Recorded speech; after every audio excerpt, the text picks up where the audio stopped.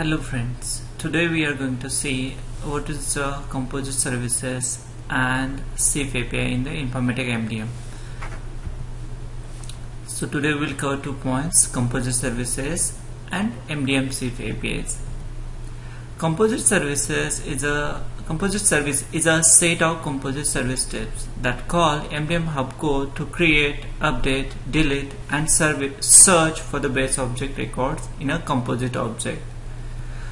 Uh, so that means it can do the different different operations in a composite way. While the SIF APIs for the each operation have the create update delete and the other corresponding batch operations. So these are the two different entities and now we will see what is different between difference between composite services and SIF API composite service services and SIF APIs are completely different. So ideally we should not compare but these are the two different features in the Informatica MDM. Composite services are a composition of smaller and fine-grained services. So it is a, a, new service which is new feature in the MDM 10 which gives you to more enhanced and better way of the searching the, and the achieving update and the delete record. Composite service do not replace the SIF calls. That means SIF APIs are still there in the MDM10.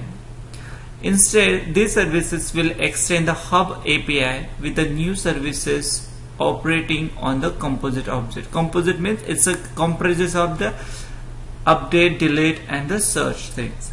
So that new API will enable client to work on the both atomic base object as well as the composite object. So we can work on the base object level as well as the combination of the base objects. So it is nothing but the atomic level as well as the composite level. So composite service achieves the update delete and search operation in the composite way the next point regarding the differentiating the composite service and the SIF API is nothing but it actually directly call the MDM hub logic for the put and the get operation. While if you consider the case of SIF API it will call the MDM's external logic. Means we have to call the APIs externally in order to do the put and the search so if you compare if you call the direct logic of the MDM eh, the performance will always great so we don't have to rely on the external SIF API calls Compared to SIF calls, composite services have a special service step that is achieved using the exception handler and that can be defined to the ex handle exceptions. So these are the couple of differences between the composite services and the SIF API. Thank you. If you have any questions then you can mention the video below. Thank you.